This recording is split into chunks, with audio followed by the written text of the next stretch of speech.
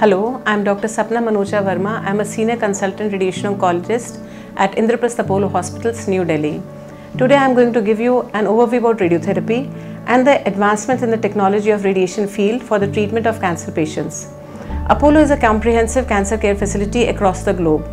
We have an exemplary team of oncologists with bone marrow transplant units, multidisciplinary tumor boards, and support group of psychologists, physiotherapists, nutritionists, for the care of cancer patients, for the treatment of cancer patients. Cancer is a deadly disease and it doesn't only give scare to the patients but also the friends and family. They undergo a lot of emotional and financial trauma.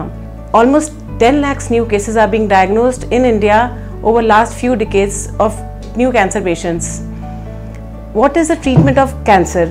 You know how we treat the cancer. Cancer has a multimodality treatment with surgery, chemotherapy or radiotherapy. Radiation is almost given for 70 to 80% of the cancer patients, either with surgery or chemotherapy or alone. So in radiation, it is a high ionizing radiation which targets the DNA of the cancer cells and thus arrests the growth of the cancer. And we are able to deliver a uniform dose to the cancer tissue, thus sparing the critical structures nearby and achieving the cure rate and improving the quality of the life of patients. There is a phenomenal change in the field of radiation with the advent of modern radiation techniques, the focus of radiotherapy is now not only the cure of the cancer patients, not only the cure of the tumor, but also the organ preservation and the preservation of the function. For example, in carcinoma larynx, the vocal cord, where patient used to undergo complete surgery and thus losing voice forever. But now, in early stage vocal cord cancers, we can treat them with radiation alone and thus achieve the cure rate and the voice of the patient. Similarly, in breast, instead of going for mastectomy, which gives us psychological trauma to a female that they don't have breast.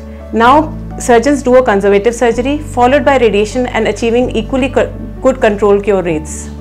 So the radiation aim is changing nowadays with new techniques like IMRT that is intensity modulated radiotherapy, image guided radiotherapy IGRT, SBRT that is stereotactic body radiotherapy and stereotactic radiosurgery SRS.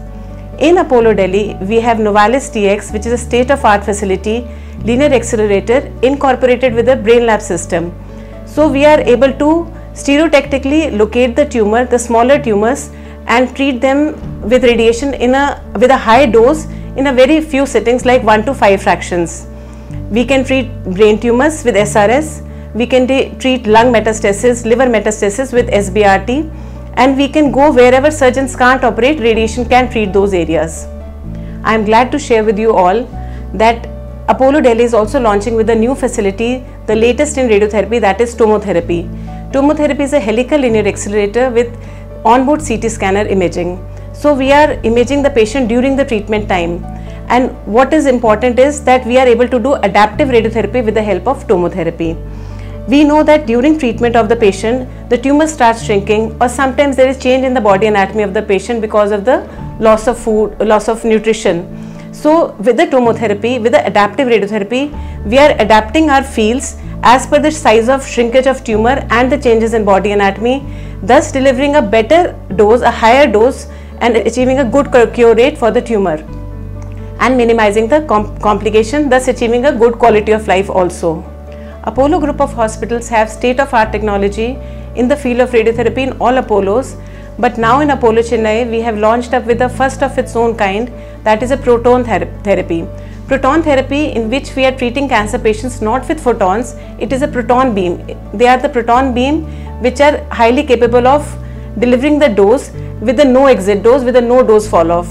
So, re-radiation cases, childhood tumors, breast cancers where lung and uh, heart are next to the chest wall, sarcomas where a high dose is needed for the treatment, we are delivering and giving a better cure rate with the proton treatment.